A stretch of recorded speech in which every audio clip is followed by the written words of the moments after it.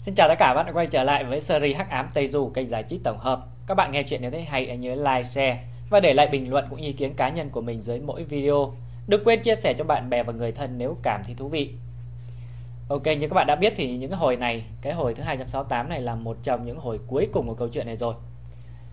Xong cái hồi này thì gần như là kết thúc, chỉ còn à, theo mình đoán thì còn hai hồi nữa. Nhưng mà thực chất nó chỉ còn theo như hồi gốc nó chỉ còn à, mười mấy hồi nữa thôi đáng lẽ là tập này là gần như kết thúc rồi này. Nhưng mà tại vì uh, nó còn vài tập sau gọi là kể sơ sơ một tí về quá trình của chữ bắt giới nữa nên là nó cũng chưa chính thức là xong. Sau cái uh, câu chuyện này thì mình sẽ có những cái mình sẽ có một cái clip tổng hợp lại cho các bạn biết nói chung là về câu chuyện này bắt đầu từ khi nào làm ra khó khăn những gì. Uh, và đặc biệt là mình sẽ nói chung là ở câu chuyện này mình sẽ công khai cho các bạn biết tất cả những cái quá trình thu nhập của nó bao nhiêu này uh, số tiền donate nhận được ở câu chuyện này bao nhiêu này vân vân tất cả những ai ủng hộ mình qua quá trình thì mình sẽ đưa cho các bạn biết để một tự chuyện này. Ok đó mình nói sơ sơ qua thôi khi nào bắt đầu hết thì mình sẽ làm một clip tổng kết về câu chuyện này sau. Rồi đó là nói về sơ qua một chút. Lại nói về ở cái tiến độ phần 2 đương nhiên các bạn biết là sau phần này một số bạn thì cũng còn chưa biết là có phần 2 đâu. Đó là một số bạn còn chưa biết và phần đông các bạn thì cũng đợi ờ, phần 1 này hết rồi các bạn mới qua qua phần 2 phần 2 bây giờ thì mình, mình như phát hành bên đó đến hồi thứ 37 38 gì đó ba hồi thứ 38 bây giờ thì bắt đầu uh, phải ngừng lại một chút xíu để chờ bản dịch tới tiếp. Chứ còn lại bên đó cũng phải dịch mà chứ không có ấy được lắm. Tại vì uh, lúc mà bên đấy đang làm thì mình uh, bổ sung dịch sang bên này luôn cho nó nhanh xong để cho nó hết phần 1 cho nó kịp tiến độ như là mình đã hứa với các bạn. Nên là với lại do là hai người dịch khác nhau với phần 1 nên, nên các bạn nhiều lúc sẽ để ý là những cái ờ, câu từ nó dịch không được nuột bởi vì do tự nhiên nhảy vào dịch nên là nó không được ấy lắm, nên là mình đọc sẽ bị vấp. Tại vì đến lúc đó thấy nó ngượng ngượng ấy nên là nó nó sẽ bị vấp, nên là mong bạn thông cảm vấn đề đó. Rồi đó là nói về những cái còn lại tối hôm nay, trong quá trình tối hôm nay thì mình sẽ, tại vì cái phần 2 nó chưa có nên bên kênh lãng tầm kiếm hào mình sẽ ra một tựa chuyện mới để cho các bạn đánh giá xem thế nào.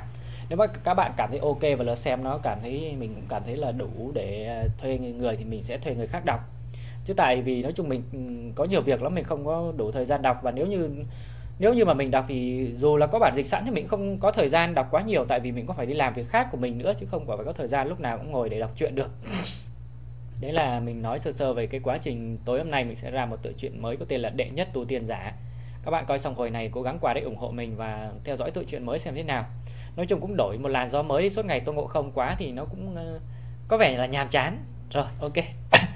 lại nói về cái hồi thứ 267 một chút cho nó đủ cái thủ tục. Ở hồi thứ 267 thì các bạn đã thấy một quá trình là giao chiến. Như các bạn đã thấy thì lúc mà cái quá trình mà tứ đại thần hầu hợp nhất thì cũng không có cái ờ, thể hiện cái cái cái cái gọi là thể hiện cái vị trí gì nó quan trọng lắm, kể cả tôn ngộ không này. Chỉ có trong cái quá trình chiến đấu chỉ có bốn người chính, đó là tôn ngộ không, diễm thần, tề chiếu và láng tầm kiếm hào, còn lại tứ đại thần hầu cũng không có cái vai trò gì nhiều. Đường tam tạng cho bát giới, tiểu bạch long đến bây giờ không còn vai trò gì nhiều lắm. Để vài tập cuối mai thì bắt đầu sẽ xuất hiện nhiều. Còn lại á, các thanh niên như là của thần quốc liên minh lúc này là gọi là sức mạnh yếu quá rồi, không còn có đủ sức để tham gia vào cuộc chiến nữa. Trong cái tập 267 thì các bạn đã thấy là thủy tôn đã nói một câu nghĩa là tôi tôn ngộ không mới chính thức là có được tiềm năng lên thủy tôn chân chính, còn lại thủy tôn hiện giờ cũng đang là ngụy thủy tôn nghĩa là có nghĩa là truyền thừa chứ không có phải là tự mình tu luyện lên. Còn Tô ngộ không hiện giờ mới chính là có đủ ngũ hành cân đối lực lượng này, có đạo pháp tắc vượt quá số lượng này. Tất cả đó là nhờ đạo chuẩn đã tính toán và đạo chuẩn đã biết trước con đường tới, con đường chí tôn như thế nào. Như bạn đã biết thì trong cái chuyện này lúc đầu nó có nói một câu là thủy tôn là điểm kết thúc và cũng là điểm khởi đầu. Nhưng thực ra nó là cái điểm khởi đầu thôi, để là bắt đầu mới đạt tới vĩnh hằng chứ còn ở trên như bạn đã biết thì phần 2 nó còn có thương khung thế giới, còn bá đạo nhiều, búng một tay là một vũ trụ đã tiêu tán rồi. Nó gần như sau này như là chuyện Son Goku ấy.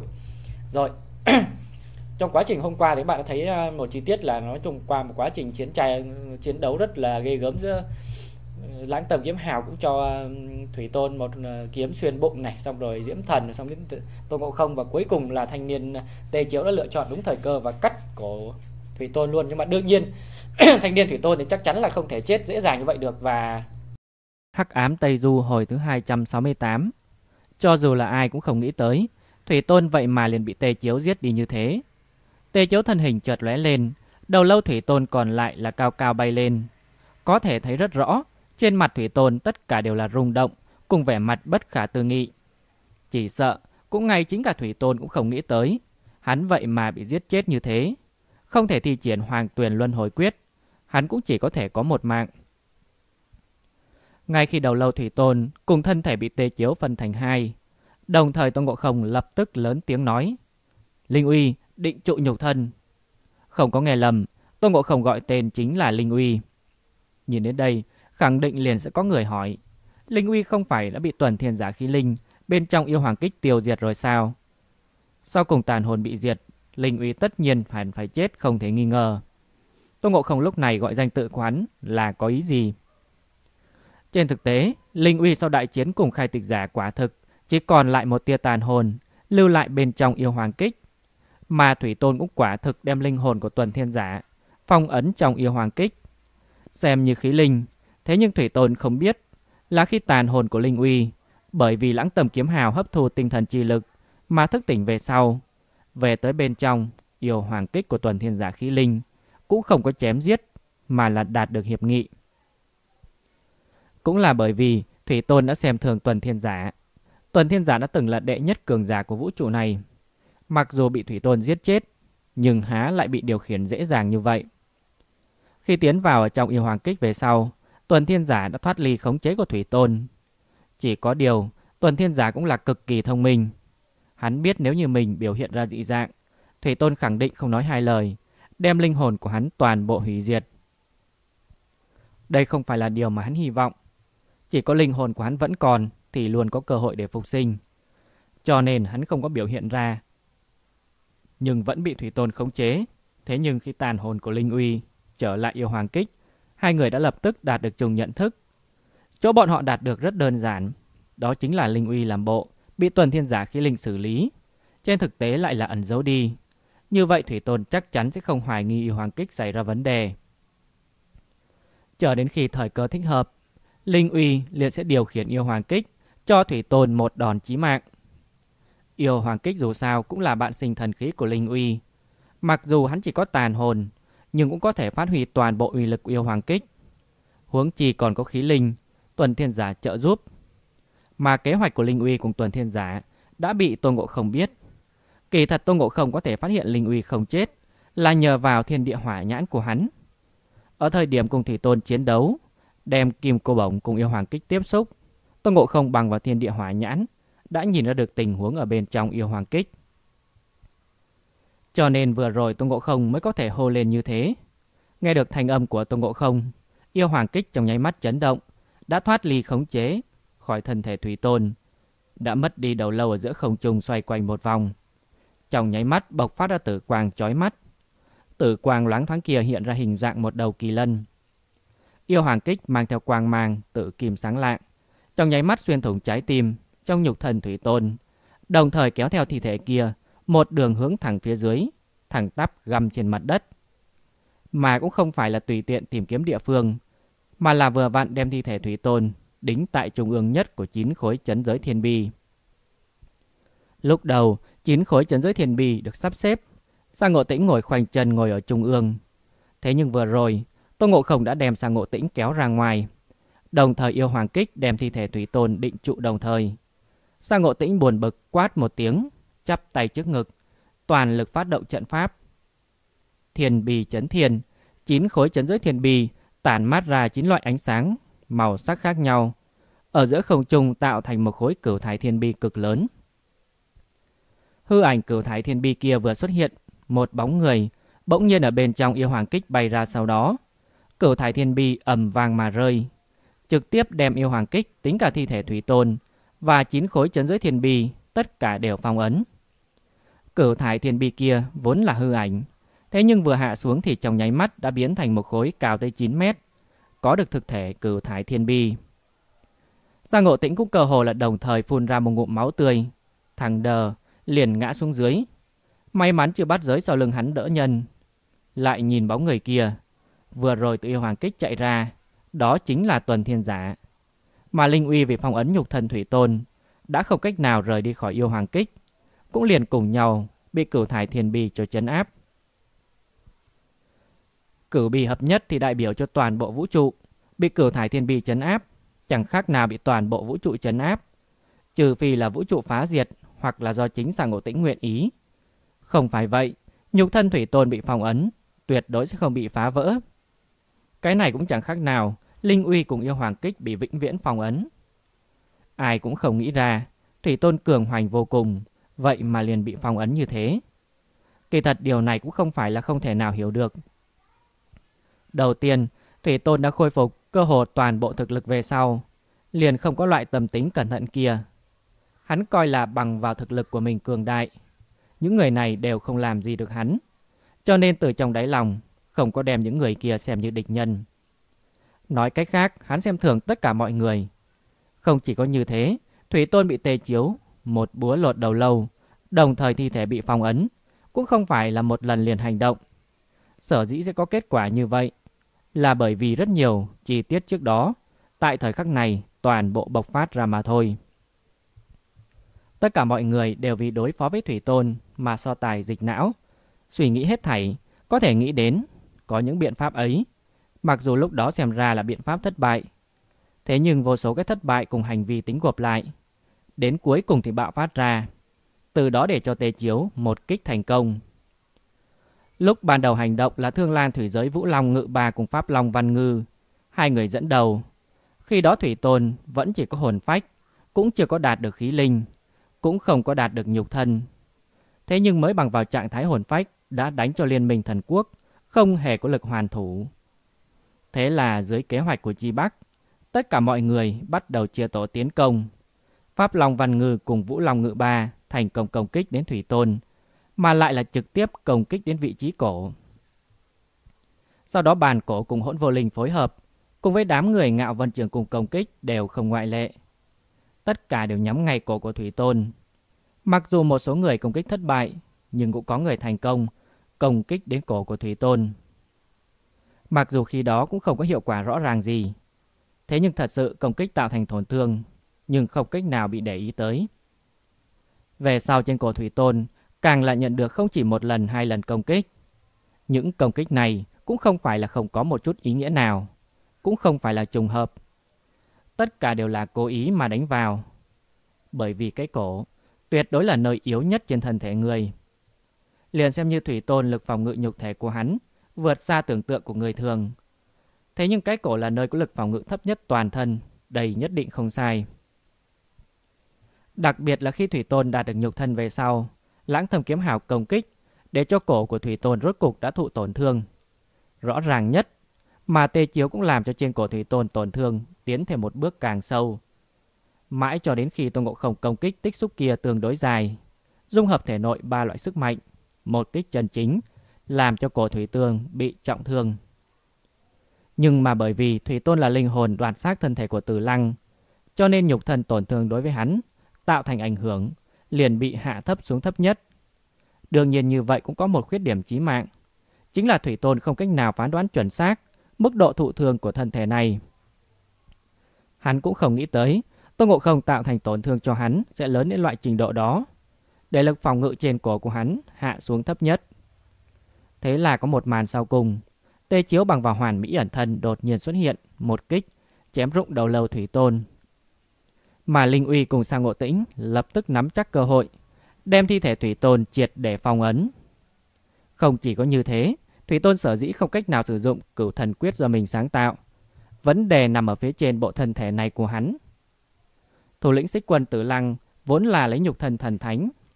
Sự lợi hại nhất của hắn chính là bộ thân thể này. Cho nên mặc dù hắn chết rồi, thế nhưng ý chí của hắn vẫn như cũ lưu lại ở bên trong thân thể. Thủy Tôn không rõ ràng cho lắm, chiếm cứ lấy nhập thần của hắn. Mặc dù thành công đem hải cốt dung hợp, thế nhưng lại giữa lúc bất trí bất giác, bị bộ thân thể này trói buộc. Ở dưới ý chí mãnh liệt của từ lăng quấy nhiễu, dẫn đến cửu đại thần quyết không cách nào sử dụng, cũng liền đã mất đi khả năng sử dụng hoàng tuyển luân hồi quyết để phục sinh. Tất cả mọi người cố gắng lờ đãng tích lũy đến cuối cùng đủ để chí mạng. Đương nhiên mạng thủy tôn không chỉ có như thế, Lãng tầm kiếm hào một kiếm kia cũng không có mặt ngoài đơn giản như vậy. Tinh thần khốn là kiếm hào khi dung hợp tinh thần chi lực về sau, phát ra một kích mạnh nhất. Một kích này không hề chỉ là tạo thành cho Thủy Tôn, cái vẻ ngoài trói buộc kia. Chủ yếu nhất là tinh thần chi lực phía trên thất tình Long Uyên, thuận theo vết thương trên người Thủy Tôn, toàn bộ tiến vào trong thể nội. Từ bên trong, đem hải cốt cùng nhục thể của hắn tách rời. Mặc dù sức mạnh của kiếm hào cũng không làm cho hải cốt Thủy Tôn cùng nhục thân Tử Lăng chân chính tách ra, nhưng vẫn là tạo thành một phiền phức tương đối lớn. Cho Thủy Tôn bằng không thì một kích của Tề Chiếu cũng không hề thuận lợi như vậy. Theo nhục thân của Thủy Tôn bị triệt để phong ấn, Tô Ngộ Không rốt cục thở dài một hơi. Một trận chiến này đánh tới hiện tại, hy sinh nhiều người như vậy, rốt cục thành công, đem Thủy Tôn phong ấn. Thật là quá khó khăn, nhưng mà phong ấn Thủy Tôn cũng không để cho Tô Ngộ Không cảm thấy vui vẻ. Dường như một khối đá lớn trong lòng kia vẫn như cũ đang đè ép lấy hắn. Cũng khó trách, vì đối phó một tên Thủy Tôn mà chết nhiều người như vậy, làm sao có thể làm cho Tô Ngộ Không cao hứng. Ngay từ đầu, Tô Ngộ Không còn tưởng rằng là tác dụng tâm lý của mình. Thế nhưng rất nhanh hắn liền phát hiện không đúng. Uy thế như vậy cũng không có biến mất. Trong nháy mắt, Tô Ngộ Không liền nghĩ đến cái gì, đột nhiên ngẩng đầu. Cái nhìn này để Tô Ngộ Không trong lòng đau khổ. Nguy rồi, ta quên tra xét. Ngay khi Tô Ngộ Không ngẩng đầu, trong nháy mắt, hắn chợt thấy đầu lâu của Thủy Tôn vẫn còn ở giữa không trung. Cũng không có bởi vì mất đi nhục thân mà rơi xuống. Chỗ cổ uy áp mà Tô Ngộ Không cảm thụ đến chính là trong cái đầu lâu Thủy Tôn phát ra. Thật đáng chết. Chính mình lợi dụng sự chủ quan của Thủy Tôn đánh bại hắn. Thế nhưng mình lại lập tức phạm vào cái sai lầm chí mạng này. Mình cũng chủ quan. Trên thế giới chuyện đáng sợ nhất không phải thiên tai nhân họa, cũng không phải yêu ma quỷ quái, mà là những việc ta cứ coi như là đã xong. Thủy Tôn coi là Tôn Ngộ Không, bọn họ đối với mình mà nói, căn bản cũng không phải là thứ uy hiếp gì, cho nên hắn bị tề chiếu chém đầu. Tôn Ngộ Không coi là Thủy Tôn bị chém đầu, khẳng định sẽ chết, thế nhưng lại phát hiện Thủy Tôn vẫn còn sống. Đúng vậy, ngay cả tổ vua hình thiền cũng đã mất đi đầu lâu nhưng còn không chết, huống chi là Thủy Tôn. Ngay khi Tôn Ngộ Không thầm mắng mình đã chủ quan, Chư bát giới phía sau hắn bỗng nhiên hét lớn một tiếng mà nói. Tên yêu quái đáng chết này, chỉ còn lại một cái đầu thì phách lối cái gì. Lão trừ cũng không tin ngươi có thể cắn chết ta. Hầu ca ngươi đừng lo lắng, nhìn ta ăn nó đây. Nói xong, chư bát giới hướng về phía đầu lâu thủy tôn ở giữa không trung, mở miệng rộng ra. Sau đó một cỗ hấp lực cực kỳ khủng bố từ miệng chư bát giới truyền đến. Tôn Ngộ Không vừa định ngăn cản, thế nhưng đã tới không kịp. Giữa không trung, đầu lâu đã bị chư bát giới hút tới. Tôn Ngộ Không nhìn một cái sắc mặt đại kinh. Rốt cuộc không nghĩ đợi được nhiều, dưới chân phát lực, lập tức liền đem chữ bát giới đụng vào ở một bên.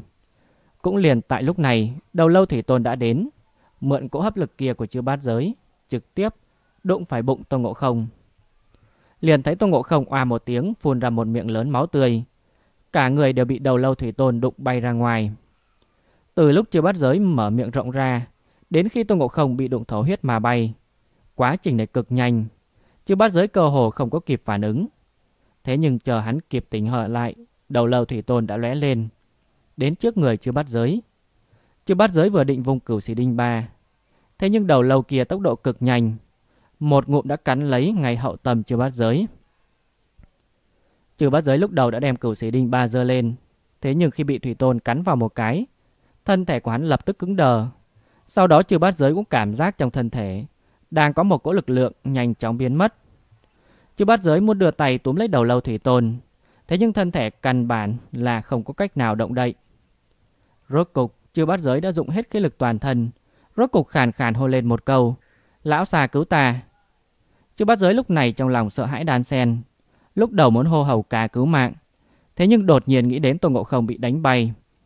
Dưới tình thế cấp bách đành phải hồ sang Ngộ Tĩnh, bởi vì vừa rồi chữ bắt giới là nghiêng người đứng ở bên cạnh Tôn Ngộ Không.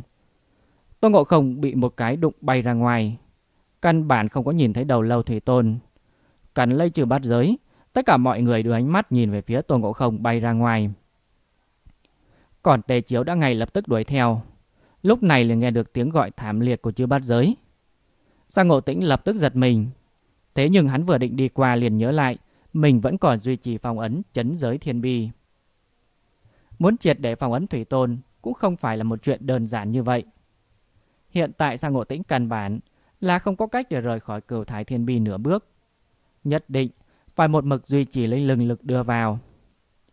Mà lại hắn nhất định phải ở đây liên tục 49 ngày, đem linh lực quán chú tiến vào bên trong cửu thái thiên bi, mới có thể đem phòng ấn làm ổn định, mới có thể để cho cửu thái thiên bi tự hành ở giữa vũ trụ, hấp thu đầy đủ năng lượng mà duy trì phòng ấn. Giang Ngộ Tĩnh mặc dù không kịp xuất thủ, thế nhưng Tiểu Bạch Long lại tại tới trước tiên. Dù hắn không biết chư bát giới có chuyện gì xảy ra, nhưng nghe giọng nói này liền biết chư bát giới đã gặp phải tình huống gì đó. Tiểu Bạch Long thân hình mấy cái lấp lóe đã đi tới bên người chư bát giới, cúi đầu xuống. Lập tức liền thấy đầu người đang cắn lấy tìm chư bát giới kia. Tiểu Bạch Long sững sờ, hắn vừa rồi tưởng là đầu lâu thủy tôn đi theo đại sư huynh bay ra ngoài. Thế nhưng ai biết đầu lâu này lại cắn lấy chiến thần chư bát giới. Tay phải nắm vào trong hư không một cái, một cây trường thường kim sắc xuất hiện ở trong tay. Cổ tay nhoáng một nhịp, kim sắc trường thường lắc ra một thường hòa rất đẹp, hướng về phía đầu lâu kia liền đâm xuống. Thế nhưng đầu lâu liếc mắt trông thấy trường thương của Tiểu Bạch Long, bỗng nhiên buông lỏng miệng ra, nhoáng một cái tránh thoát trường thương. Mấy cái lấp lóe bỗng nhiên hướng về phía Tiểu Bạch Long nhào tới, mà lại bổ nhào qua vị trí, còn không phải chỗ khác, mà chính là trên mặt Tiểu Bạch Long. Người đều có thể như vậy, nếu như một đồ vật bay tới là nhắm chuẩn tay chân của người, thậm chí thân thể thì đều rất dễ dàng mà né tránh. Thế nhưng nếu như là nhắm ngay mặt sẽ rất khó tránh thoát đi. Huống chi đầu lâu này vẫn còn đuổi theo phương hướng Tiểu Bạch Long né tránh. Mắt thấy đầu lâu kia đã mở ra miệng, cắn lấy trên mặt Tiểu Bạch Long. Lúc này một bóng người bỗng nhiên xuất hiện ở trước người Tiểu Bạch Long. Bóng người kia mới vừa xuất hiện, lập tức đưa ngón trỏ tay phải ra. Cứ như vậy một đầu ngón tay điểm vào trên trán đầu lâu thủy tôn. Đầu lâu kia vốn là uy thế sông đến, lập tức biến mất. Sau đó liền nghe thấy một thanh âm bình thản nói: "A Di Đà Phật." Nghe xong Phật hiệu này, liền biết bóng người kia nhất định là Đường Tam Tạng không thể nghi ngờ. Cùng lúc đó, trên thân Đường Tam Tạng bỗng nhiên tách ra ức vạn đạo Phật quang. Theo vô số Phật quang tứ tán, có thể nhìn thấy sau lưng Đường Tam Tạng bỗng nhiên xuất hiện một hư ảnh tôn Phật Đà. Kia là một tôn kim thân Phật Đà, cao hơn 36 trượng. Theo Phật Đà xuất hiện, còn có một trận phạm âm cùng đầy trời cánh hoa màu trắng nhạt vẩy xuống trên mặt Thủy Tôn. Hắn tràn đầy chấn kinh, mà đầu của hắn dường như bị đường tam tạng hút ở bên ngón tay. Dĩ nhiên không cách nào tránh thoát. Phệ linh đại sư trình cả đại sư, làm phiền. Theo thanh âm bình thản của đường tam tạng, hai đạo nhân ảnh một trái một phải đột nhiên xuất hiện, phân biệt đứng ở hai bên đầu lâu của Thủy Tôn. Hai người kia mới vừa xuất hiện, Thủy Tôn cũng không có kinh ngạc gì. Thế nhưng, khi cảm nhận được khí tức của hai người về sau, lại dừng mắt nhìn trước người đường tam tạng một cái. Thủy Tôn lập tức liền nghĩ đến cái gì, biểu hiện liên tục biến hóa, cuối cùng nhưng ngừng lại hoàng sợ. Không, không thể nào, các ngươi không thể như vậy, ta là Thủy Tôn, dù thế nào thì ta cũng là Thủy Tôn. Thế nhưng Phệ Linh cùng Trình Càn khẳng định không rảnh mà để ý, không chút do dự vươn hai tay lăng không ấn xuống, ở đỉnh đầu Thủy Tôn, sau đó hai người đồng thời phát lực, bắt đầu đem khí linh Thủy Tôn hút ra. Kế hoạch của đường Tam Tạng rất đơn giản, Thủy Tôn hiện tại chỉ còn một cái đầu lâu, một thần tu vi cũng không có còn lại bao nhiêu. Nhưng mà mấy người Tôn Ngộ Không cũng đều bị thương, cho nên ở thời khắc mấu chốt, đường Tam Tạng ngang nhiên xuất thủ. Trước tiên, mình vận dụng vô thượng Phật Pháp đem đầu lâu Thủy Tôn chấn áp. Sau đó vệ linh hòa thượng cùng trình càn hai người một trái một phải, vận dụng sức mạnh. Vệ linh trùng của bọn họ đem khí linh của Thủy Tôn rút ra ngoài. Chỉ cần Thủy Tôn đã mất đi khí linh, thì Thủy Tôn cũng chẳng còn bao nhiêu uy hiếp. Không nói thực lực đại giảm, chủ yếu nhất là đường tam tạng liền có thể phát động độ hóa, đem Thủy Tôn khống chế lại. Có thể giải quyết như vậy liền không đánh mà thắng. Đối với đường tàm tạng tự nhiên là tốt nhất. Thế nhưng rất nhanh, vệ linh cùng trình càn hai người liền mặt lộ vẻ khó xử. Tàm tạng sư phụ, không được. Khi linh thủy tồn đã thành hình, bằng vào hai chúng ta quá khó khăn. Vệ linh vừa nói xong, thì lại là một bóng người lóe lên, đã đứng ở đối diện đường tàm tạng. Người này vừa xuất hiện không nói hai lời, duỗi ra hai tay cùng lăng không ấn xuống, ở ngay phía trước đầu lâu thủy tôn. Sau đó toàn thân linh lực thôi động, một cỗ hấp lực to lớn hơn ở giữa hai tay người kia truyền ra. Người này không phải ai khác, chính là tộc trưởng phệ linh trùng nhất tộc, lưu lạc ở bên ngoài. Phí Vân Thân là tộc trưởng phệ linh trùng nhất tộc, năng lực thôn phệ của khí linh vượt xa Trình Càn cùng với Phệ Linh. Lại thêm đây là ba người hợp lực, cơ hồ đã lập tức liền đem khí linh ẩn trốn ở trong đầu Thủy Tôn kéo ra ngoài. Thủy Tôn lập tức quá sợ hãi, gầm thét liên tục, thế nhưng lại không hề có tác dụng.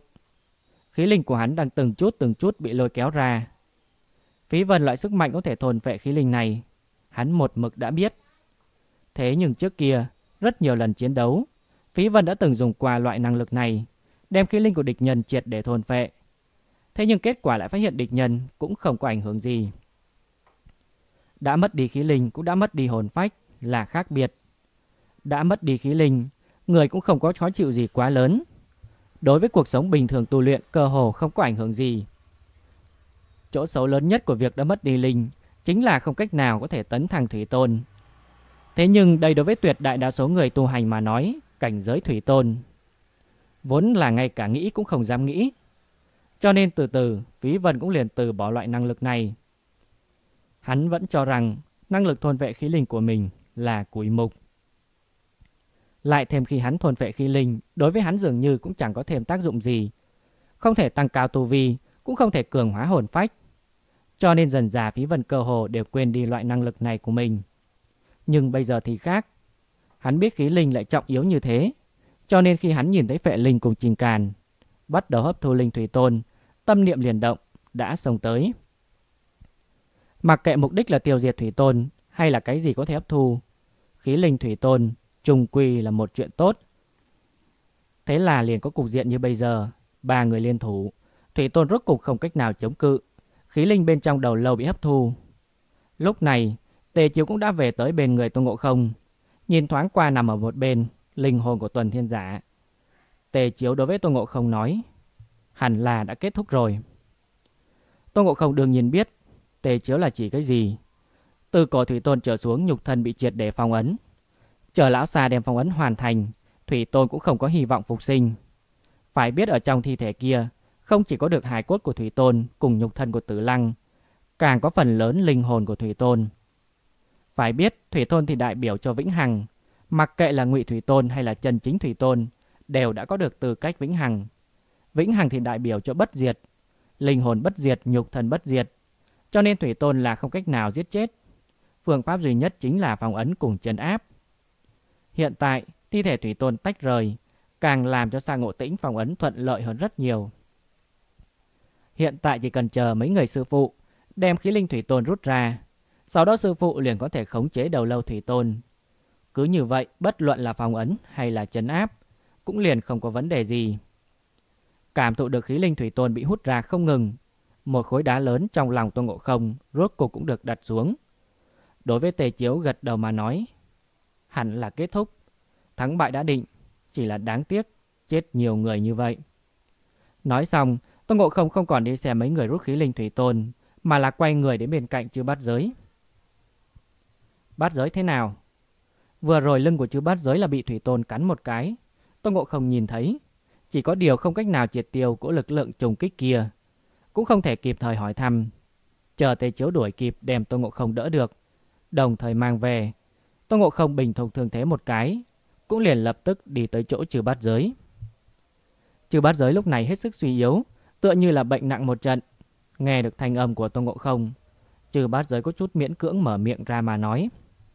Hầu ca có chuyện có chuyện, thôn phệ của ta, thôn phệ của ta đã mất rồi. Chỉ nói một câu như vậy, chứ bát giới lại lần nữa hồn mê bất tỉnh. Ngay từ đầu, Tô Ngộ Không còn chưa hiểu chữ bát giới là có ý gì. Thế nhưng nghĩ lại, Tô Ngộ Không dường như đã nghĩ tới điều gì. Thôn phệ không có. Thôn phệ rất dễ dàng liên tưởng đến năng lực thôn phệ của chữ bát giới. Nói cách khác, chữ bát giới đã không còn năng lực thôn phệ. Năng lực thôn phệ không thể nào biến mất không còn tam hơi. Kết hợp với thủy tôn vừa rồi cắn chữ bát giới một cái. Tô Ngộ Không lập tức liền nghĩ đến điều gì. Bỗng nhiên quay người, nhìn về phía một bên khác. Mấy người sư phụ, lần này Tô Ngộ Không đã đem thiên địa hỏa nhãn lập tức liền phát hiện có chỗ không đúng. Ở bên dưới thiên địa hỏa nhãn, Tô Ngộ Không nhìn thấy bên ngoài là bọn người phệ linh không ngừng hấp thu khí linh thủy tôn. Thế nhưng trên thực tế, trên thân ba người phệ linh đang có một cỗ sức mạnh vô cùng không rõ ràng bị thủy tôn hấp thu. Trong lòng Tô Ngộ Không hơi hồi hộp một chút, ám đạo hỏng bét. Thủy tôn này vậy mà khó đối phó đến như thế. Không nói hai lời, dẫn theo kim cô bổng liền định xông tới. Thế nhưng vừa vọt ra một bước, bỗng nhiên dưới chân không đứng vững, dĩ nhiên ngã sấp xuống. Lập tức phần bụng liền truyền đến một trận đau nhức kịch liệt. Thì ra là mới vừa rồi thì tồn đụng vào nơi ấy, đột nhiên bắt đầu đau.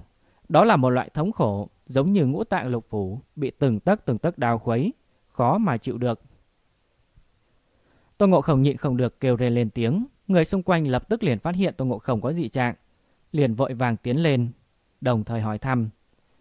Tô Ngộ Không biết thời gian cấp bách, không kịp nhiều lời, miễn cưỡng vươn tay, chỉ vào bốn người đường tam tạng mà nói. Ngăn cản, mong ngăn cản bọn họ. Tô Ngộ Không lời đã ra miệng, Tê Chiếu cùng bên cạnh Lục Nhĩ Mi Hầu, thân hình đã lóe lên liền xông ra ngoài. Bọn họ đối với Tô Ngộ Không hiểu rõ vô cùng biết. Tô Ngộ Không sẽ không nói nhảm, mặc dù cũng không biết hắn có là ý gì, nhưng vẫn là lập tức làm theo. Hai người một trái một phải, Tê Chiếu cầm trong tay kiến thích, Lục Nhĩ Mi Hầu cầm trong tay xích huyết dù long côn, trong chớp mắt đã xông tới. Bởi vì đây đều là người một nhà, đương nhiên không thể hạ sát thủ. Cổ tay Tề Chiếu khẽ đảo một cái, đã đem kiến thích đổ qua. Mặt trái một cái, đem hai tay vệ linh đẩy ra ngoài. Mà lục nhĩ mi hầu trong tay là cây gậy, đương nhiên không cần lo lắng. Xích huyết rồi lòng côn lắc ra, một mảnh côn tốn, đã đem tay hai người trình càn cùng phí vân chống lên. Ba người đều là không rõ ràng cho lắm, vừa định lên tiếng hỏi thăm. Đường tàm tạng lại là kêu lên một tiếng đau đớn. Thì ra ngay lúc ba người bọn hắn bị đẩy ra trong nháy mắt, Đầu lâu thủy tôn đã tránh thoát khống chế của đường tam tạng. Đầu lâu nhất chuyển liền đâm vào ngực đường tam tạng. Sau đó lập tức hướng vọt lên trên. Liền xem như lục nhĩ mi hầu cùng tề chiếu cũng không nghĩ tới. Đầu lâu thủy tôn lại phản ứng nhanh như vậy. Bởi thế cũng không kịp ngăn cản. Nhưng mà tề chiếu mắt thấy đường tam tạng bị đụng bay, thân hình uốn éo. Thế là bền lùi lại, đem đường tam tạng tiếp lấy rồi đặt dưới đất. Kỳ thật trước đó bát giới nói không sai, Thủy Tôn bị tề chiếu chém tới đầu lâu, đồng thời nhục thân bị phong ấn. Chỉ bằng một cái đầu quả thực không thể là làm ra chuyện gì lớn. Mà điểm này chính Thủy Tôn cũng biết. Mặc dù Diễm Thần, Lãng Tầm Kiếm Hào đều đã mất đi sức chiến đấu, nhưng chỉ với những người còn lại cũng không phải là thứ mà hắn chỉ bằng một cái đầu liền có thể đối phó. Nhưng Thủy Tôn lại không cam tâm chạy trốn, cho nên hắn rất nhanh liền nghĩ đến một cái biện pháp. Đừng quên ở giữa không trung còn có một bộ nhục thân Trước đó Thủy Tôn hấp thu vượng hoàng chi lực của Diễm Thần, ngưng tụ ra nhục thân của Bạo Thiên Hoàng, vẫn là một mực ở giữa không trung. Thế là Thủy Tôn bí quá hóa liều, đầu tiên là đột nhiên bạo khởi công kích Tôn Ngộ Không, đem Tôn Ngộ Không đụng bay, đồng thời cắn chư bát giới, lấy lại thôn phệ chi lực. Sau đó làm bộ bị đường tam tạng chấn áp. Thừa dịp mấy người phệ linh trình càn hấp thu khí linh của hắn, hắn lại lợi dụng thôn phệ chi lực của chư bát giới, ngược lại âm thầm hấp thu sức mạnh ba người bọn họ. Mặc dù kịp thời bị Tôn Ngộ Không phát hiện, nhưng sức mạnh mà Thủy Tôn hấp thu đã đầy đủ để điều khiển nhục thân của Bạo Thiên Hoàng. Thủy Tôn đâu phải là thứ dễ dàng đối phó như vậy. Một tơ một hào chủ quan cũng có thể để Thủy Tôn tìm tới cơ hội. Thế nhưng thời điểm Tôn Ngộ Không biết đến điểm này thì đã quá chậm. Đường Tam Tạng cũng biết ý tưởng của mình chỉ sợ đã thất bại. Đây là đường Tam Tạng vì ngăn cản cái tương lai mà hắn không muốn nhìn thấy nhất. Trong lòng của hắn rất rõ ràng, kế hoạch này thất bại thì mang ý nghĩa vẫn cần phải vận dụng đến một chiêu kia. Những điều này đều là Chi Bắc đã nói cho hắn biết. Còn nhớ rõ lúc Thủy Tôn đạt được hài cốt mấy người Tôn Ngộ Không vừa mới bắt đầu cùng Thủy Tôn khai chiến. Lúc ấy Chi Bắc đã từng lôi kéo đường Tam Tạng đến một nơi không có ai. Bọn họ nói cái gì không ai biết, chỉ có điều khi đường Tam Tạng trở ra thì đã không thấy Trì Bắc. Lúc đó Tô Ngộ Không cũng phát hiện sự mất tích của Trì Bắc. Chỉ có điều cũng không có suy nghĩ nhiều. Bản thân Trì Bắc bị trọng thương thì Tô Ngộ Không cũng biết. Cho nên Tô Ngộ Không coi là Trì Bắc đã tìm sư phụ chữa thương cho hắn. Hiện tại chỉ mình sư phụ xuất hiện, còn Trì Bắc chắc là một nơi an toàn tu dưỡng. Cho nên Tô Ngộ Không cũng không có hỏi nhiều. Thế nhưng trên thực tế, Chi Bắc tìm tới đường Tam Tạng cũng không phải là vì để chữa thương. Bởi vì tổn thương của Chi Bắc cũng không phải là ngoại thương bình thường, mà là nội thương. Mà bởi vì hắn vận dụng quá độ năng lực thần dụ sư của mình đưa đến di chứng. Đây là một cái giá phải trả không thể nghịch. Chi Bắc tìm tới đường Tam Tạng là để nói cho Tam Tạng một sự kiện. Chuyện này là Chi Bắc dùng đến sinh mệnh của mình mới thôi diễn ra. Nói cách khác, để tôi diễn ra chuyện này thì cái giá phải trả cực lớn, đó là mạng của hắn. Bỏ ra cái giá như vậy thì phải đổi lấy được thứ gì quan trọng không kém. Đương nhiên, không còn là một loại dự báo mơ hồ như trước kia nữa. Chỉ bác nói cho đường Tam Tạng là liên quan đến kết quả cuối cùng của trận chiến này. Đó chính là Thủy Tôn không những sẽ không chết, ngược lại sẽ càng thêm cường đại. Nhưng mà tôi Ngộ Không bọn họ đem hết toàn lực, vẫn là có thể đánh bại. Thế nhưng Thủy Tôn sẽ không chết. Một khi Thủy Tôn bị đánh bại, cục diện sẽ không chỉ có thêm thay đổi tốt, ngược lại sẽ trở nên càng thêm hỏng bét. Nếu quả thật khi xuất hiện tình huống, Thủy Tôn không có cách nào để đánh bại, liền cần đến đường Tam Tạng ra tay. Nói xong, chỉ Bắc vươn tay, ở lòng bàn tay của đường Tam Tạng vẽ lên một cái đồ án. Cái đồ án kia chính là chi Bắc dùng sinh mệnh để đổi lấy. Một chiều có thể đánh bại Thủy Tôn. Vốn là đường Tam Tạng coi là không cần dùng đến một chiều đó. Thế nhưng nhìn tình huống hiện tại, chỉ sợ đã đến lúc bết bát nhất. Nắm chặt tay phải, đường Tam Tạng cố gắng để cho mình tỉnh táo. Hiện tại còn có cơ hội, còn chưa tới thời điểm vận dụng một chiều này ngay khi đường Tam Tạng nắm chặt hai tay hồi ức Chí bác nói cho hắn biết, thời điểm một chiều này, Tô Ngộ Không, Tề Chiếu đã một lần nữa hướng về giữa không trung mà sông tới.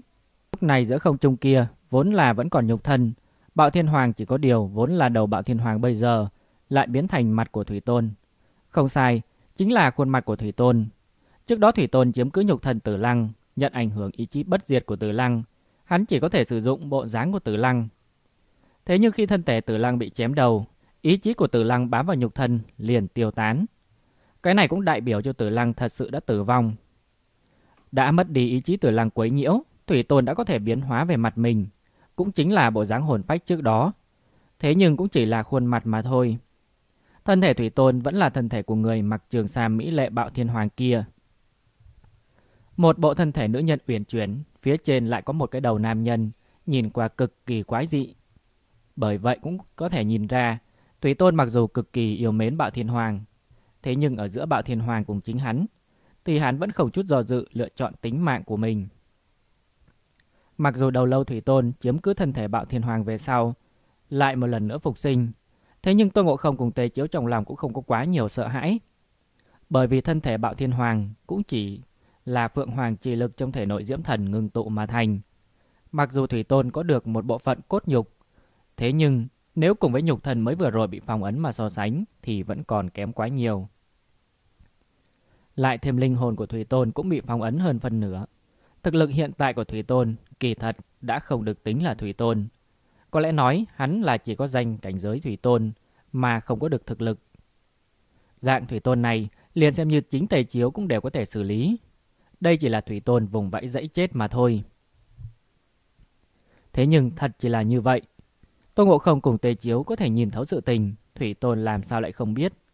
Hắn cũng vô cùng rõ ràng, nhục thân bạo thiên hoàng cũng chỉ là để hắn tránh phải dùng một cái đầu lâu đi chiến đấu mà thôi. Đối với việc giúp hắn tăng lên thực lực cũng không có tác dụng gì lớn. Nhưng Thủy Tôn đương nhiên sẽ không ngồi yên mà chờ chết. Huống chi vì để bù đắp điểm này, vừa rồi hắn đã có chuẩn bị. Vì cái gì dưới tình huống hắn chỉ có một cái đầu lâu, lại bốc lên đại phong hiểm đánh lén Tô Ngộ Không, sau đó cắn lấy chư bát giới. Lại vì sao tình nguyện tổn thất một bộ khí linh, cũng phải hấp thu sức mạnh của ba người phệ linh trình càn cùng phí vân. Đấy hết thảy đều là có mục đích.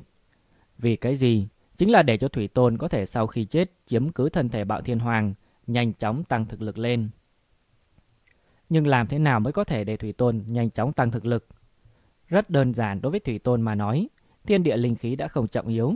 Trọng yếu nhất chính là khí linh. Nói đến đây, khả năng rất nhiều người cũng đã đoán được việc Thủy Tôn muốn làm. Nhưng mà Tô Ngộ Không cùng Tề Chiếu vẫn không có ý thức được. Trên thực tế ở trong loại chiến đấu khẩn trương này, đã có thể tỉnh táo lại mà suy nghĩ đã là cực kỳ không dễ dàng. Huống chi, còn muốn đi truy đến cùng ý nghĩa và mục đích của phía sau tất cả hành vi từ Thủy Tôn. Tô Ngộ Không tay phải mặc dù bị phế, mà dưới bụng cũng thụ trọng thương. Thế nhưng ngũ hành chi lực đã triệt để dung hợp. Sức khôi phục của thân thể vẫn là tương đối kinh người. Mặc dù cánh tay phải vẫn như cũ không thể dùng, nhưng tổn thương dưới bụng đã khá hơn rất nhiều. Tay trái dẫn theo kim cô bổng, Tôn Ngộ Khổng đã vọt tới trước người Thủy Tôn, mà tê chiếu cũng như quỷ mị chuyển tới sau lưng Thủy Tôn. Thủy Tôn cũng không bối rối, Mặc dù tình huống của hắn hiện tại cũng không tốt, nhưng trên thực tế, tình huống hiện tại vẫn còn trong phạm vi mà hắn có thể khống chế. Chiến đấu thắng lợi có rất nhiều loại định nghĩa, mà đối với Thủy Tôn mà nói, coi như mình rất chật vật, nhưng vẫn xử lý được địch nhân, đó chính là thắng lợi lớn nhất. Thủy Tôn có chút khó chịu nâng lên hai tay, cả người bỗng nhiên tại chỗ bắt đầu xoay quanh. Theo hắn xoay tròn, ở trên người hắn đột nhiên bắt đầu xuất hiện lấm tà lấm tấm hỏa diễm. Nhưng mà hỏa diễm kia tấp tốc bốc lên. Khi tay trái Tô Ngộ Không nâng kim cô bổng đã đập vào trên người Thủy Tôn, hỏa diễm kia đã đốt trở thành một cây thông thiên hỏa trụ. Tô Ngộ Không một gậy lại bị hỏa diễm đang xoay tròn bắn ra. Trong lòng Tô Ngộ Không cảm giác rất nặng nề. Thủy Tôn này quả nhiên là không phải dễ dàng đối phó được như vậy. Theo thông thiên hỏa trụ kia càng chuyển càng nhanh, bắt đầu có rất nhiều tiểu hỏa vượng ở trong thông thiên hỏa trụ bị quăng ra. Tôn Ngộ Không cùng Tề Chiếu, cách thông thiên hỏa trụ kia gần nhất, lập tức bị mười mấy con hỏa vượng vây công. Tôn Ngộ Không mặc dù chỉ có một cánh tay, nhưng là chỉ bằng tay trái cũng có thể đem kim cô bồng múa kín không kẽ hở. Mười mấy con hỏa vượng công kích hắn, tất cả đều bị đánh tan. Tề Chiếu cũng là vùng kiền thích, hỏa vượng gần thần toàn bộ bị hạ sát nhưng đồng thời lại có thêm nhiều hỏa vượng vòng qua hai người bọn hắn, ùn ùn kéo đến, hướng mọi người ở mặt đất nhào xuống. Không chỉ có như thế, còn có một bộ phận hỏa vượng rất lớn đang liên tục không ngừng biến mất vào bên trong không gian chẳng biết là đi đâu. Những tiểu hỏa phượng này mỗi con thực lực cũng không mạnh, nhưng mà mỗi một con cũng có cảnh giới cửu vân chí tôn. Còn lớn hơn một chút cũng chính là giới chủ sơ cấp. Đối với những người ở đây đều là cảnh giới thiên tôn mà nói, hoàn toàn trong nháy mắt có thể tiêu diệt. Thế nhưng những hỏa phượng này số lượng thực sự là quá nhiều, tựa như là một trận hỏa vũ rơi xuống, ùn ùn kéo đến, đem toàn bộ bầu trời đều đốt thành hỏa hồng sắc. Không chỉ có như thế, những con hỏa phượng kia cũng không có thực thể. Đánh tan thì rất nhanh lại sẽ hội tụ lại cùng nhau. Bởi vậy rất nhanh, tất cả mọi người trên đất bắt đầu bị hỏa phượng vây quanh. Thế nhưng là kỳ quái, những con hỏa phượng kia giống như cũng không có lực công kích gì. Liền xem như bị hỏa phượng thấu thể mà ra. Ngoại trừ cảm giác có chút suy yếu, cũng không có tổn thương thực tế gì. Chuyện này rất là kỳ quái. Nhưng Tô Ngộ Không cùng đường Tam Tạng cũng rất nhanh liền phát hiện chuyện không đúng. Lập tức lớn tiếng nói. Chạy mau, không nên chống cự những hỏa phượng hoàng này. Nó có thể thôn phệ khí linh. Chạy mau, tất cả mọi người tán ra. Tô Ngộ Không cùng đường Tam Tạng lập tức kêu gọi mọi người, kinh hãi, rốt cục không quản được chuyện khác. Cả đám đều hướng về chung quanh mà chạy như điên. Sự tình phát triển cho tới bây giờ, ý của Thủy Tôn đã rất rõ ràng. Trước tiên là thu hồi thôn phệ trì lực trên người chư bát giới, sau đó lợi dụng thôn phệ trì lực hấp thu sức mạnh phệ linh trùng trong nội thể của phệ linh. Cùng với trình càn lại thêm phí vân. Sau đó ném năng lực vệ linh trùng bám vào bên trong phượng hoàng chi lực, lợi dụng số lượng khổng lồ hóa phượng thôn vệ khí linh của tất cả mọi người sau đó đã bổ túc bản thân. Chỉ cần có đầy đủ khí linh, hắn mặc dù chỉ còn lại một cái đầu, nhưng vẫn như cũ, có thể tiêu diệt đi tất cả những người này. Theo mọi người trên mặt đất chạy tứ tán, vô số hỏa diễm phượng hoàng cũng tản ra truy về phía mọi người. Những con hỏa diễm phượng hoàng kia xuyên thấu hoặc đụng chạm được người thì trực tiếp trở về, sau đó dùng nhập vào trong thông thiên hỏa trụ kia. Tô Ngộ Không trong lòng sáng tỏ, đây là Thủy Tôn đang gia tăng thực lực của mình. Tô Ngộ Không đương nhiên sẽ không để cho Thủy Tôn được như ý. Hít sâu một hơi, ngưng tụ khí lực toàn thân, dẫn theo kim cô bổng lần nữa sông tới. Đồng thời chung quanh thân thể của hắn xuất hiện một lớp vầng sáng không màu. Tất cả hỏa diễm phượng hoàng đụng phải vầng sáng không màu kia thì toàn bộ tiêu tán. Thế nhưng tôn Ngộ Không toàn lực một gậy quật đi qua, đối với thông thiền hỏa trụ cũng không có tạo thành tổn thương gì. Xem ra Thủy Tôn cũng là liều mạng. Chỉ sợ thông thiên hỏa trụ này đã là dung hợp toàn bộ lực lượng sau cùng của Thủy Tôn. Không phải vậy, phòng ngự cũng sẽ không mạnh đến như thế. Nhìn lấy hỏa phượng không ngừng bay trở về, dung nhập vào bên trong hỏa trụ. Tôn Ngộ Không liền biết đã không thể kéo dài được nữa. Đem kim cô bổng thu hồi, Tôn Ngộ Không đầu tiên là hướng về phía Tề Chiếu lớn tiếng mà nói. Tề Chiếu tận lực ngăn cản Thủy Tôn, ta cần một chút thời gian Chuyện tới nước này đã không thể lo lắng những chuyện khác được nữa, cũng không quản được nhiều, chỉ có thể đánh bại Thủy Tôn, coi như nỗ lực để trả phải cái giá lớn cũng là đáng. Nếu như có thể dùng mạng của mình đổi lấy sư phụ, bắt giới lão xà tiểu bạch long, cùng những người khác, như vậy là quá đủ. Chỉ đáng tiếc mình lại nuốt lời. Bàn cổ giới chỉ sợ là về không được. Hoa quả sơn đương nhiên cũng là đi mà không về. Người ở đỉnh núi kia vẫn đang chờ ta, sẽ còn tiếp tục chờ đợi nữa sao? Lắc đầu, Tô Ngộ Không đem tất cả cảm xúc toàn bộ khu trừ. Hắn hiện tại cần hết sức chuyên tâm. Tay phải trải qua thời gian vừa rồi đã cấp tốc khôi phục. Đã có thể cử động, nhưng cũng chỉ đến đấy. Tay phải có thể động, cũng không có nghĩa là có thể chiến đấu. Có chút miễn cưỡng nâng tay phải lên chắp ở trước ngực, làm ra một động tác. Các hòa thượng thường xuyên làm, đồng thời giơ cao tay trái, tay trái kết làm kiếm chỉ. Động tác của Tôn Ngộ Không hiện tại kỳ thật rất là kỳ quái. Có vẻ cảm giác hơi chút dở dở ương ương. Theo Tôn Ngộ Không bày ra động tác, ở trên người hắn bỗng nhiên dâng lên một vệt kim quang. Kim quang kia tràn đầy khí tức uy nghiêm, trang trọng. Theo kim quang quyệt xuất hiện, Tôn Ngộ Không đều bị phủ lên trở thành kim sắc. Cảm giác kim quang này rất giống kim thần Phật Đà. Quả nhiên, khi kim quang kia đem nửa cái bầu trời đều muốn nhuộm thành kim sắc. Ở xung quanh thân thể Tôn Ngộ Không, từ từ xuất hiện một hư ảnh tôn Phật Đà. Kia là một tôn Phật Đà ngồi xếp bằng, ban đầu chỉ là so với Tôn Ngộ Không lớn hơn vài vòng. Nhưng mà Phật Đà kia sau khi xuất hiện thì như đón gió rồi dài, thời gian mấy hơi thở đã tăng vọt đến trăm trượng. Bộ dáng Phật Đà kia không có người thấy, cũng không phải là bộ dáng của người nào, nhưng mà lại có được tất cả đặc điểm của Phật Đà Phật gia. Công chính bình thản uy nghiêm, trang nghiêm, hết thảy yêu tà bất xâm, hết thảy quỷ ma bất nhiễm. Có thể nói giờ khắc này, Tôn Ngộ Không chính là thánh khiết nhất tồn tại ở thế gian, vượt qua bất luận là ai được gọi là Phật trước kia. Lấy ba loại sức mạnh trong thể nội dung hợp ra nguyên lực hoàn toàn mới, để thôi động trong thân thể Phật lực, giúp Tôn Ngộ Không trở thành một tôn Phật đà. Có Phật lực mạnh nhất ở giữa vũ trụ. Phải biết Tôn Ngộ Không vốn đã là Phật, đấu chiến thắng Phật. Không chỉ có như thế, khi tôn Phật Đà hình dạng lạ lẫm này xuất hiện về sau, ở hai bên trái phải Tôn Ngộ Không, Phật Đà này bỗng nhiên lại xuất hiện thêm hai tôn Phật Đà. Bên trái là một tôn Phật Đà mặc Phật y. Nhưng mà tôn Phật Đà này lại là bộ dáng của Tôn Ngộ Không. Đây mới là bản tướng của hắn đấu chiến thắng Phật. Cũng chính là hình dạng ban đầu ở Tây Thiên Linh Sơn, được phong làm đấu chiến thắng Phật. Mà bên phải lại không phải Phật Đà, mà là một đầu cự viên. Không sai, đây chính là bản tướng Tôn Ngộ Không thác thiên cự viên. Đây cũng là bộ dáng chân thật nhất của Tôn Ngộ Không. Ba đạo hư ảnh to lớn trăm trượng, lưng tựa lưng, ngồi xếp bằng, pháp tướng trang nghiêm. Ngay cả bản tướng thác thiên cự viên cũng là một mặt trang nghiêm. Ba tôn Phật Đà này xuất hiện thật không đơn giản. Phật Đà xa lạ giữa nhất, tên là ứng thân, cũng gọi là biến hóa thân, chính là Phật trong nội tâm. Tất cả người ngừng tụ mà thành. Nói cách khác, hình dạng Phật Đà xa lạ này chính là bộ dáng Tôn Ngộ Không sau khi thành Phật, muốn hiện ra trước mắt mọi người. Bên trái Tôn Ngộ Không mặc cà sa chính là báo thân, cũng gọi là thụ dung thân, là thân thể Tôn Ngộ Không thường dùng nhất, cũng chính là hình dạng hắn thường xuyên xuất hiện nhất trong mắt mọi người.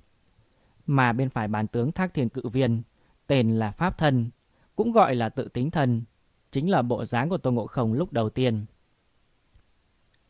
Ba tôn Phật Đà này đều là Tôn Ngộ Không hợp lại cùng nhau, tên là Tam Thân, chính là thể hiện Phật Pháp cực độ.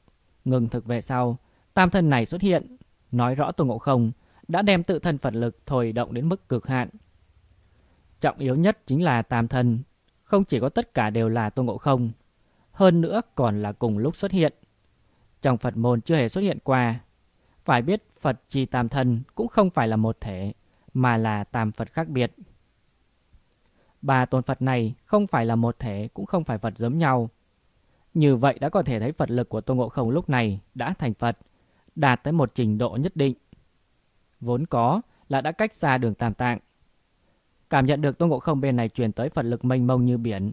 Mặc dù không có quay đầu, nhưng mặt đầy nước mắt. Ngộ Không hắn cuối cùng vẫn là cầu nhận ngã Phật. Cho tới này, Tôn Ngộ Không mặc dù trên danh nghĩa là Phật môn đấu chiến thắng Phật, cùng đường Tam Tạng liệt trong một trong 35 vị Phật, lại là đệ tử của đường Tam Tạng. Theo lý thuyết, hắn đã là người trong Phật môn. Thế nhưng chính Tôn Ngộ Không cũng không thừa nhận cái thân phận này. Đối với người ngoài mà nói, Tôn Ngộ Không từ trước đến nay sẽ chỉ nói mình là Tề Thiên Đại Thánh Tôn Ngộ Không mà không bao giờ xưng mình là đấu chiến thắng Phật. Mà Tôn Ngộ Không cho tới nay trong chiến đấu cũng chưa từng sử dụng qua Phật Pháp, đều là bằng và tự thân mà chiến đấu. Đường Tam Tạng mặc dù chưa từng nói nhưng trong lòng thì rất đáng tiếc. Đường Tam Tạng một lòng hướng Phật, thế nhưng đồ đệ của hắn lại không thừa nhận thần phận đệ tử của Phật môn. Nhưng bây giờ, cảm thụ được Phật lực trên thân Tôn Ngộ Không mênh mông trang nghiêm, cùng từ bi, có thể nào không làm cho đường Tam Tạng muốn rơi lệ. Tam thân Phật hiện lên đủ để chứng minh Tôn Ngộ Không trong lòng hướng Phật. Khi tam thân hết hiện, Phật lực tán phát, trên thân Tôn Ngộ Không đã đạt tới đỉnh phong. Thế nhưng khi ba tôn Phật đà kia tán phát khí thế, càng ngày càng tăng vọt, để tất cả mọi người cảm nhận được cỗ khí tức này đều là kinh nghi bất định. Đây là Tôn Ngộ Không muốn làm gì nếu như tiếp tục như vậy nữa, Tôn Ngộ Không khẳng định sẽ bạo thể mà chết. Chẳng lẽ Tôn Ngộ Không bị tàu hỏa nhập ma, không cách nào khống chế được Phật lực khổng lồ? Ngay khi tất cả mọi người không tự chủ, chậm bước chân lại trở, nhìn Tôn Ngộ Không chợt phát hiện có chút không đúng. Cảm thụ vừa rồi, mình tất cả mọi người trong lòng đều giật mình không thôi. Đặc biệt là đường tam tạng đã là một mặt kinh ngạc. Liền thấy, sau khi tam thần khí thế lên tới đỉnh phong, lại tiếp tục tăng vọt. Sau đó khí thế đột phá đỉnh phong bỗng nhiên nhất chuyển. Theo sự chuyển đổi, còn có phía trên ba tôn Phật Đà, Tôn Ngộ Không tán phát Phật lực vô tận. Rõ ràng nhất là lúc đầu, ba tôn Phật Đà tản ra kim quang vô tận. Bỗng nhiên bắt đầu tản mát ra một tia một sợi tử quang. Tử quang kia ngay từ đầu cũng không rõ ràng. Thế nhưng lại lấy một tốc độ ổn định bắt đầu ăn mòn những kim quang kia. Không chỉ có như thế, trong tử quang kia ẩn chứa yêu khí cực kỳ nồng nặc. Đây lại có chuyện gì? Chẳng lẽ Tôn Ngộ Không thật đã tẩu hỏa nhập ma? Phật lực khổng lồ như vậy, bây giờ lại bị yêu khí đang không ngừng ăn mòn. Ngay khi tất cả mọi người ngây ngẩn, ba tôn Phật đà tán phát kim quang kia đã toàn bộ biến thành tử kim sắc. Sâu kín tử sắc, đem ba tôn Phật đà vốn là dáng vẻ trang nghiêm nhuộm thành tử sắc, nhìn qua có vẻ vô cùng yêu tà. Không chỉ có như thế, ba tôn Phật đà bỗng nhiên bắt đầu chậm rãi xoay tròn. Vốn là tôn Phật đà xa lạ ở trong. Thế nhưng, theo ba tôn Phật đà xoay tròn, hư ảnh thác thiên cự viên lại chuyển đến trung tâm. Mà trên mặt thác thiên cự viên cũng bắt đầu lan tràn đường vân yêu dị màu tím sậm. Theo đường vân kia xuất hiện, yêu khí vô tận bắt đầu cũng lan tràn. Chuyện này, chuyện này rốt cục là như thế nào? Quang minh tuyệt đối trong nháy mắt biến thành cực hạn yêu dị.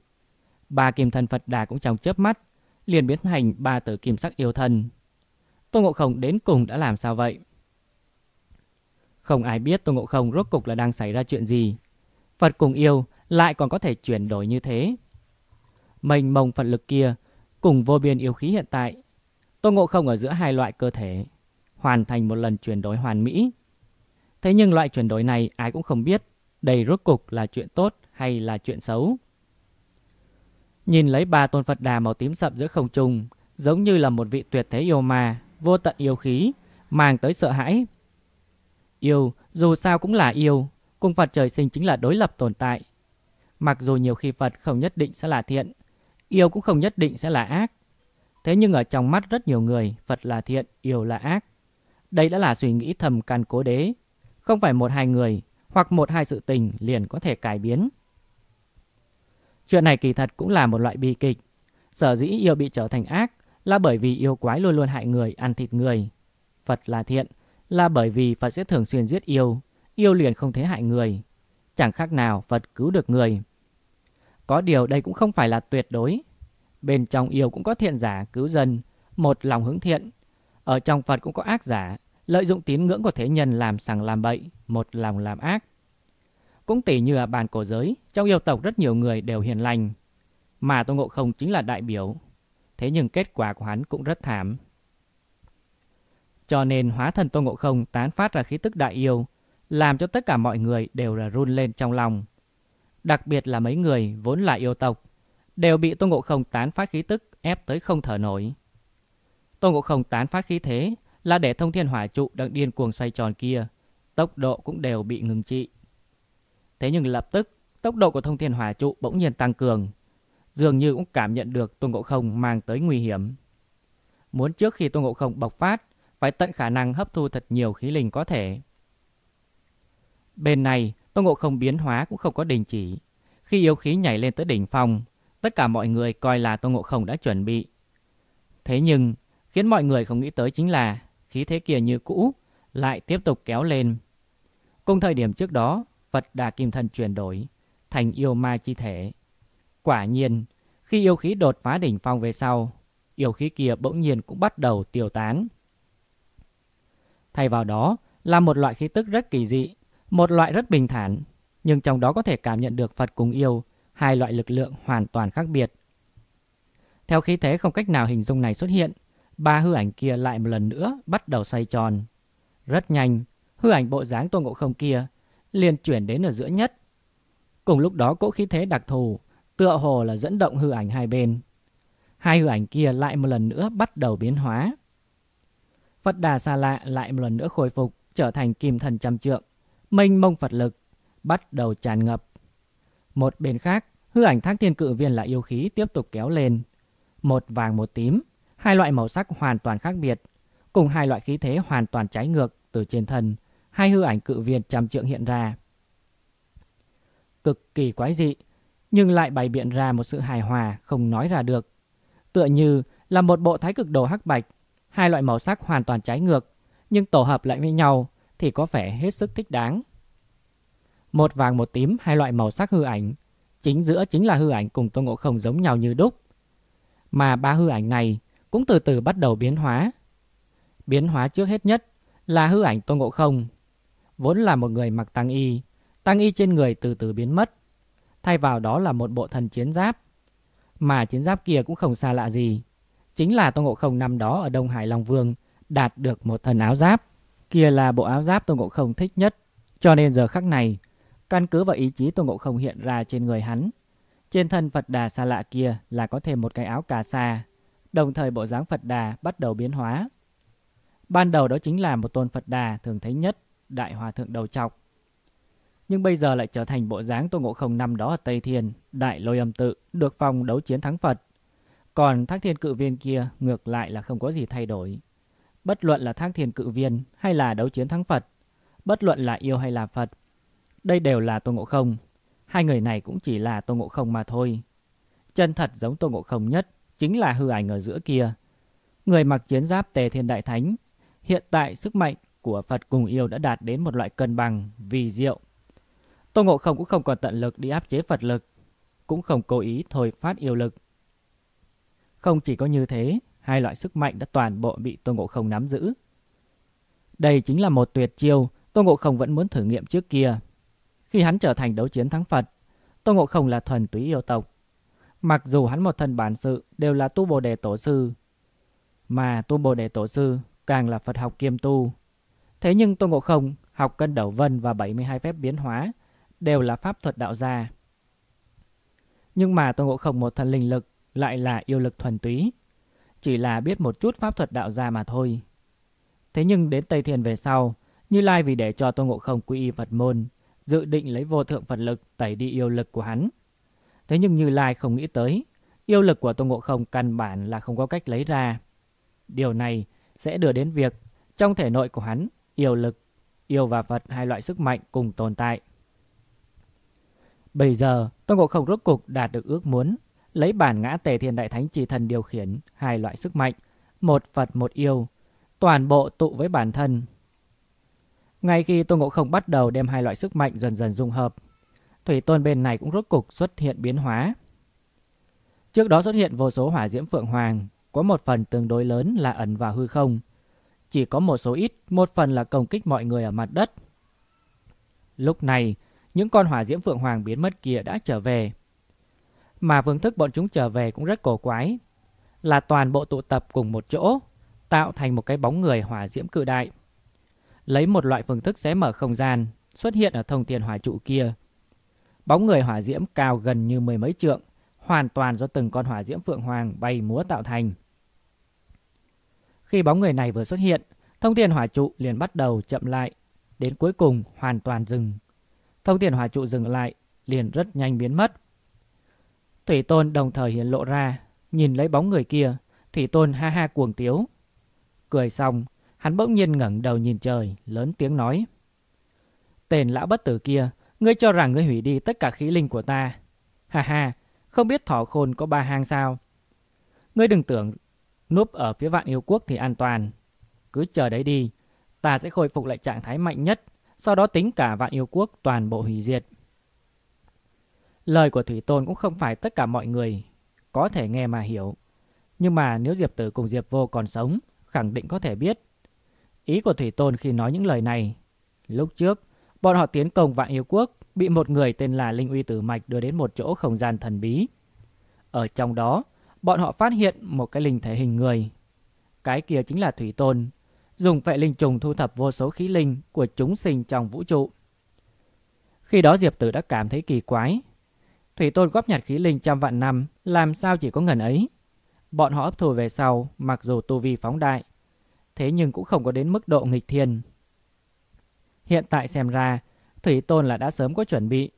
Hắn đem thu thập được khí linh chia ra mấy nơi giấu đi, đồng thời đem một bộ phận nhỏ nhất, cố ý để cho Linh Uy Tử Mạch biết được. Thủy Tôn rất thông minh, hắn biết mình không thể nào đem khí linh giấu kỹ đến mức tất cả mọi người đều không biết. Chỉ có điều hắn cố ý đem một phần trong đó bạo lộ ra để người khác cho là mình đã tìm được. Như vậy thì sẽ không có ai tiếp tục tìm kiếm. Ngược lại coi như là bí mật lớn nhất của Thủy Tôn đã bị mình nắm giữ. Điều này giống như người trộm một vạn lượng hoàng kim, người không có cách nào giấu toàn bộ để cho người ta tìm không thấy. Như vậy biện pháp tốt nhất chính là đem 200 lượng trong đó hoặc ít hơn bại lộ trước mắt một ít người, khiến đám người này cho là mình chỉ trộm chừng này, hơn nữa còn không bị phát hiện. Như thế số lượng hoàng kim còn lại đã an toàn. Hiện tại là thời điểm Thủy Tôn cần vận dụng những hoàng kim còn lại. Cũng tương tự có thể phát hiện Thủy Tôn để hóa vượng hoàng công kích những người khác. Trên mặt đất cũng chỉ là chuyển dịch sự chú ý mà thôi. Thủy Tôn tính toán thật là để cho người ta cảm thấy sợ hãi. Ở trong đáy lòng, mặc dù Diệp Tử cùng Diệp Vô chết rồi, thế nhưng Ngô Ma Vương cùng Nhị Lang Thần, bọn họ vẫn còn có ý định của Thủy Tôn. Bọn họ cũng thấy được. Có điều, mặc dù bọn họ biết thế nhưng cũng không có cách. Thực lực của bọn hắn cùng Thủy Tôn chênh lệch quá lớn.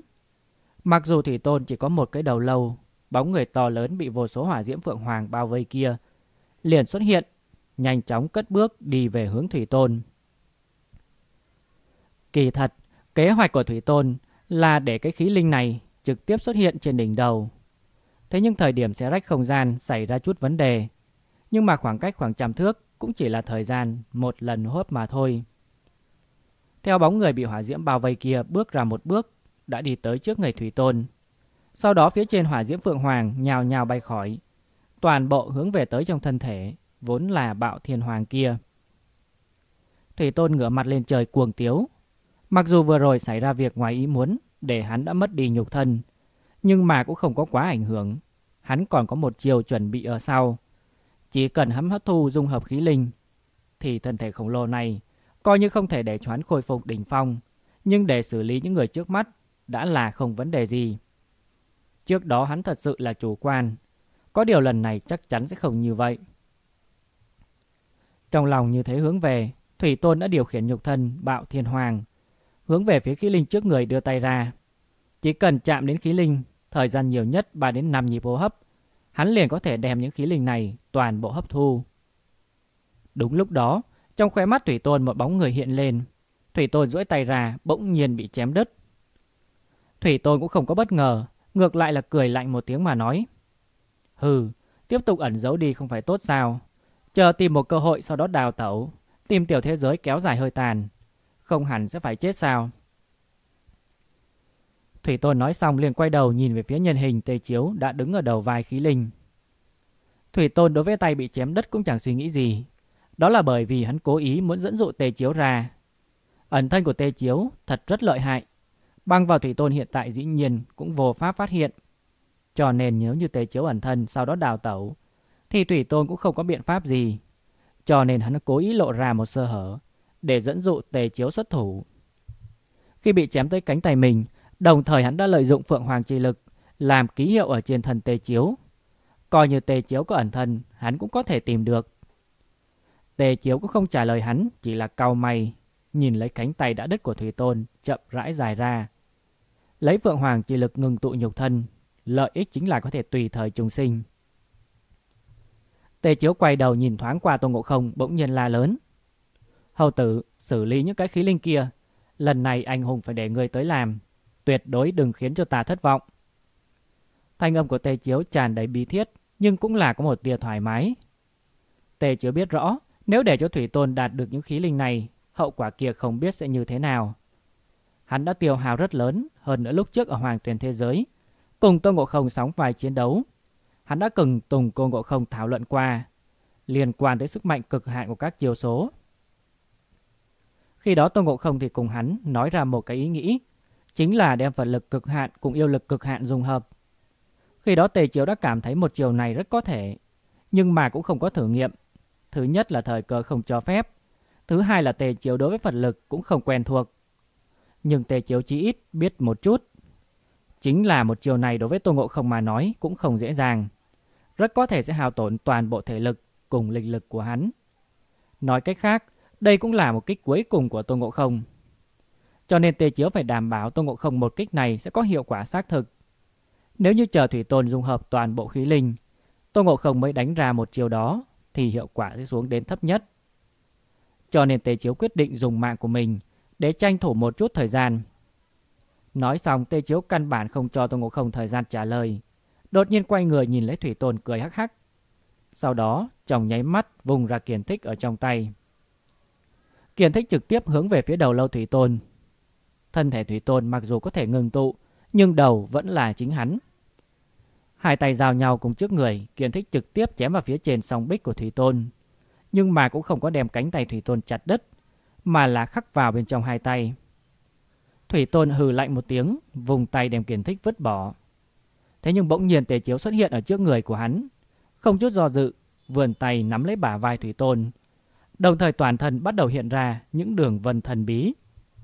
Những đường vân kia xuất hiện đồng thời còn có khí tức hủy diệt đang ùn ùn kéo đến. Tề Chiếu vốn là giới chủ diệt thế mà quốc, lực lượng mạnh nhất của hắn chính là hủy diệt. Mặc dù thủy tổ diệt thế cửu đầu xà cách đó không xa, thế nhưng tiểu đầu xà đã mất đi cái thân thể khổng lồ kia. Về sau, lực lượng hủy diệt của nó cũng liền còn thừa không bao nhiêu. Lực lượng mạnh hơn của tiểu xà hẳn là hắn đối với việc khống chế vận mệnh. Cử đầu diệt thế quyết đối với Thủy Tôn hẳn không có hiệu quả quá lớn, nhưng mà Tề Chiếu cũng có tính toán của mình. Cảnh giới tối cao của lực lượng hủy diệt là cái gì? Ở thời điểm lục quốc chiến lúc trước, diệt thế ma quốc kình phá thiên đã từng triển lộ qua một bộ phận. Đó chính là ngọc nát, đá tàn. Nói cách khác, lực lượng hủy diệt cực hạn nhất thể hiện chính là đồng quy vô tận.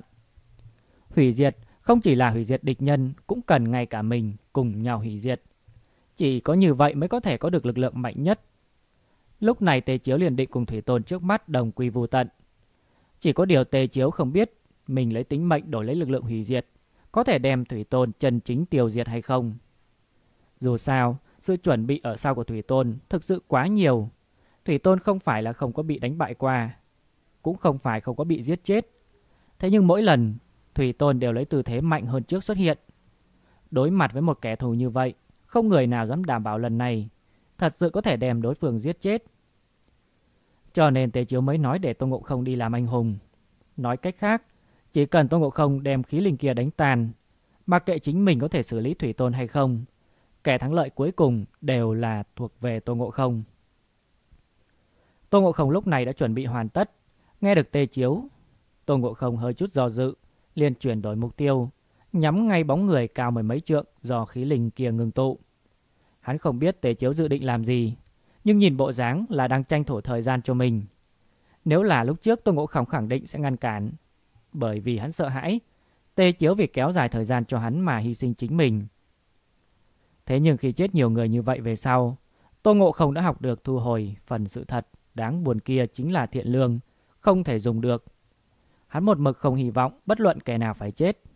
Thế nhưng trên thực tế loại ý nghĩ này sẽ chỉ làm cho càng nhiều người phải chết.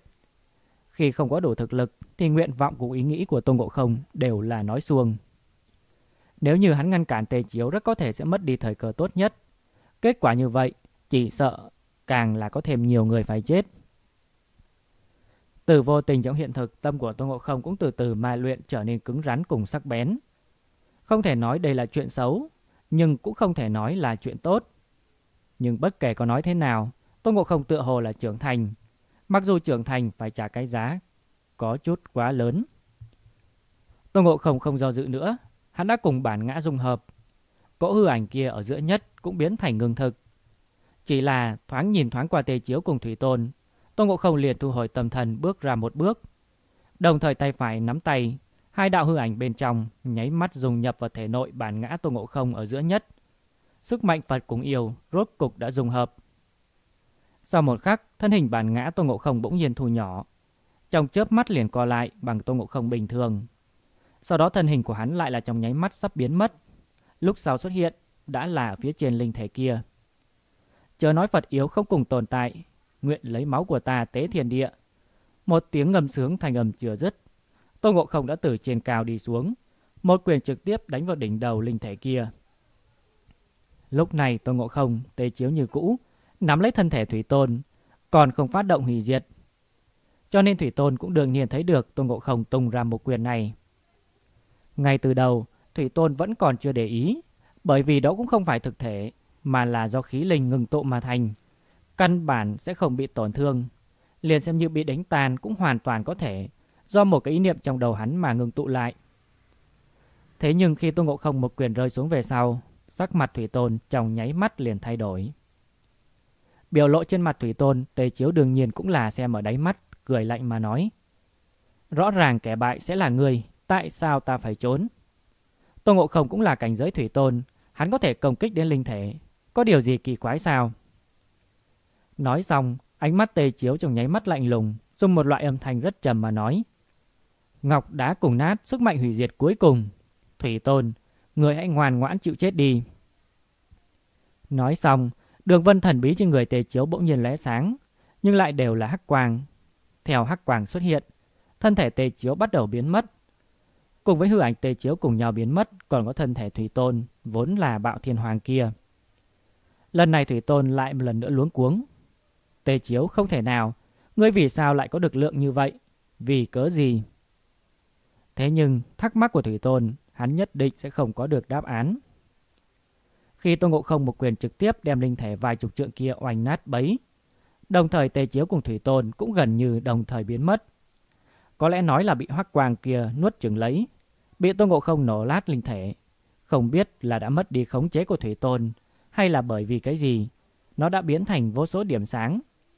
Đồng thời trong nháy mắt tứ tán đi, xem ra hẳn là về tới nơi vốn là chủ nhân của mình. Hết thảy dường như lại kết thúc rất đột nhiên, nhưng cũng rất gian nan. Hết hồi thứ 268